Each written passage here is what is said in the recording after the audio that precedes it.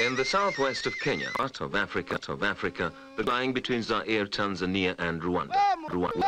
We are in Burundi, a vaulted garden that rises to the summits and hills on hills on ending in the distance. It's one of the two most populated countries of the continent. The continent. Burundi is almost self-sufficient in food. 75% of it is dispersed throughout the countryside, the countryside around Bujumbura. Capital export products are tea and coffee, which are among the best in the world, since at an altitude in ideal climatic conditions.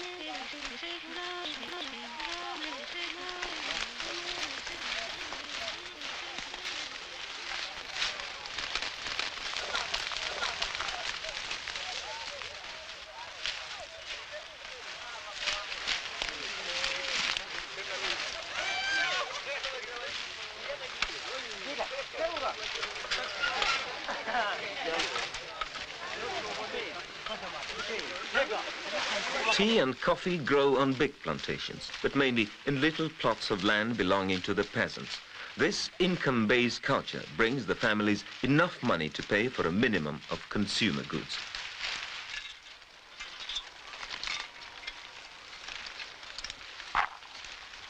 Tea is harvested all year round, but Arabica coffee plants reach maturity only twice a year. Everybody joins in the picking, which is done with the greatest care for this is the gold of Burundi.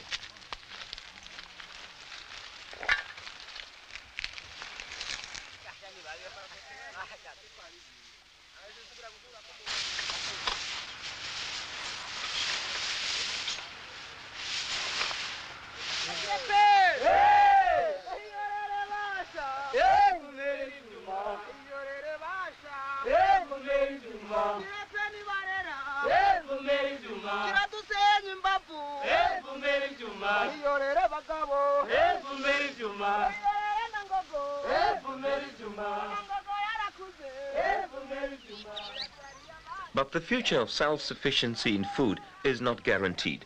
All the land that can be cultivated is already being worked, and population pressures could in the long term prove explosive. Nevertheless, from day to day, the Burundi peasant continues to work his land, to cultivate his banana plantation, whose fruits, in a special preparation, provide the national drink, banana beer. Those peasants who are more efficient than others in making their produce pay are known as progressive farmers.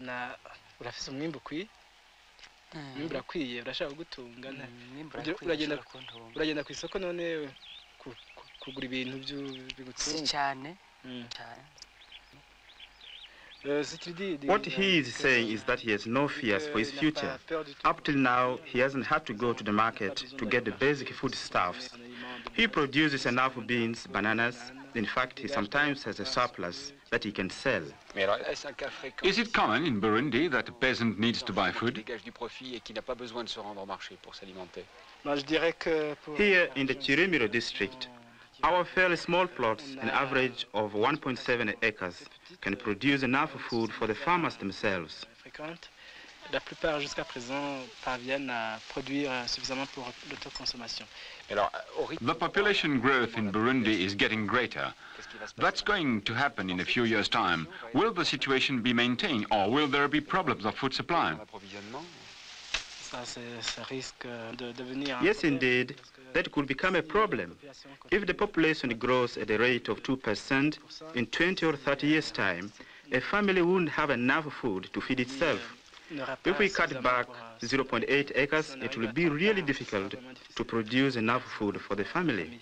Par exemple, monsieur Mr. Leonidas, Leonidas and his wife, how many children have they? on va lui poser la question. Four, Let's ask him. Bane, Eh, bisa abana bane. Il a quatre enfants et sa femme. He has four children.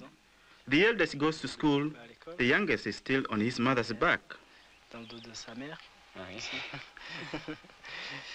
dans le dos de sa mère. Et c'est Is that typical for a Burundi family? Ou, ou plutôt euh, peu nombreuse, une famille peu nombreuse Bah, ici, dans la région, la, la Here in this area, euh, a family has four to five children on average, so it's not far from it. et il est- il n'est pas encore, il n'est pas loin de, de la moyenne.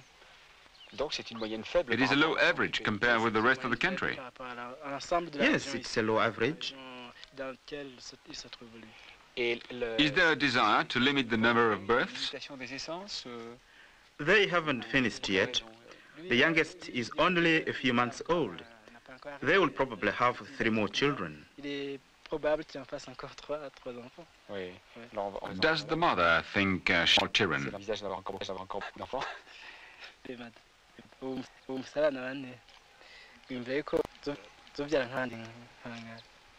L'envisage d'avoir encore, d'avoir encore beaucoup d'enfants. Mad. uwo uwo musarani bane yumviye ko zo- zobyara nk'abandi nk'abangana batatu bane batanu batanu banganu bangana She says, as we normally say around here, only God knows how many children we have.